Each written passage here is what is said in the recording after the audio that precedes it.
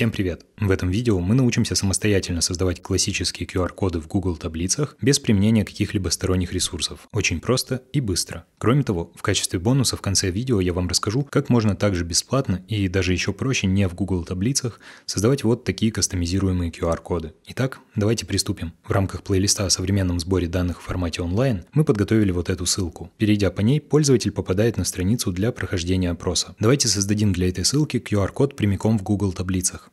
Для этого я перехожу в Google Диск, затем зайду, например, вот в эту папку и в ней создам новую таблицу Google. Сразу эту таблицу переименую. Окей, теперь внесу, например, в ячейку C2 требуемую нам ссылку. В соседней же ячейке D2 мы будем выводить QR-код. Сделаем мы это при помощи специальной функции Image. Выбираем ячейку, вносим знак равно и прописываем название функции. Как нам вот здесь подсказывает Google, эта функция позволяет с помощью ссылки ввести в указанную ячейку картинку. Приведем наглядный пример, чтобы лучше понимать, как работает эта функция.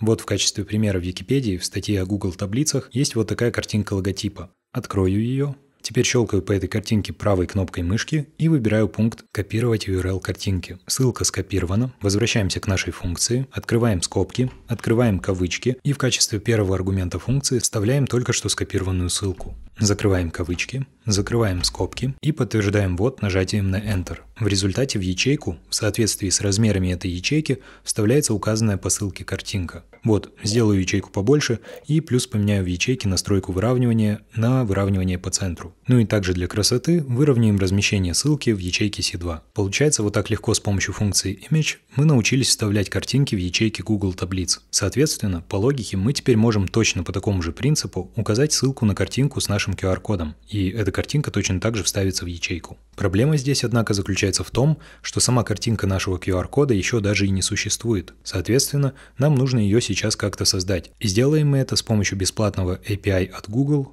QR Codes. API – это, можно сказать, такие уже подготовленные отдельные онлайн-программы, которые можно запускать с помощью небольших запросов. И по такому же принципу, собственно, работает и рассматриваемый гугловский API для создания QR-кодов конце концов, чтобы получить требуемый QR-код, все, что мы должны сделать, это указать нужный нам API, вот его ссылка, а после с помощью параметров мы должны сказать, что нам, во-первых, нужен QR-код, затем мы должны сказать, что нужно закодировать в картинке, ну и в конце концов мы говорим, какого размера нам требуется возвращаемая картинка. Вот такое небольшое объяснение, как работают API, и давайте, собственно, уже создадим QR-код для нашей ссылки на практике. Так будет намного проще понять, как вот это все работает. Итак, возвращаемся в таблицу Google. Я захожу в формулу этой картинки и будем ее поправлять. Логотип мы вставляли лишь для примера, чтобы увидеть, как работает функция Image, так что удалю эту ссылку. И теперь, как и было сказано, нам нужен QR-код. Создавать мы его будем с помощью API, так что вставляем точно так же в кавычках ссылку нужной нам программы API. Отлично. Идем дальше. Этот API умеет создавать не только QR-коды, но и самые разнообразные графики. Так что следующим шагом мы должны сказать, что нам вот это все не нужно, нам нужен именно QR-код. Делается это с помощью параметра CHT. Так что пишу CHT, ставлю знак равно и прописываю QR. Окей, Теперь нам нужно указать размер получаемой картинки. Это делается с помощью параметра CHS. Пишу CHS равно 500 x 500, то есть 500 пикселей в ширину 500 пикселей в высоту. Супер. Все, мы почти написали функцию. Последнее, что нам нужно указать, это собственно информация, которую мы хотим закодировать в картинке. При этом на самом деле кодировать можно не только ссылки, а вообще любые буквенно-цифровые комбинации. Смотрите, пишу CHL, в этом параметре указывается кодируемое сообщение, ставлю знак равно и напишу, например, вот такое сообщение. Символом плюса кодируется пробел. Ввожу закрывающую кавычку и, собственно, все. Мы прописали всю информацию, требуемую для API, так что я нажатием на Enter подтверждаю ввод формулы. Проходит доля секунды, и на выходе мы получаем готовый QR-код. Давайте я возьму свой телефон, открываю камеру и навожу ее на созданную и выведенную картинку. Немного жду,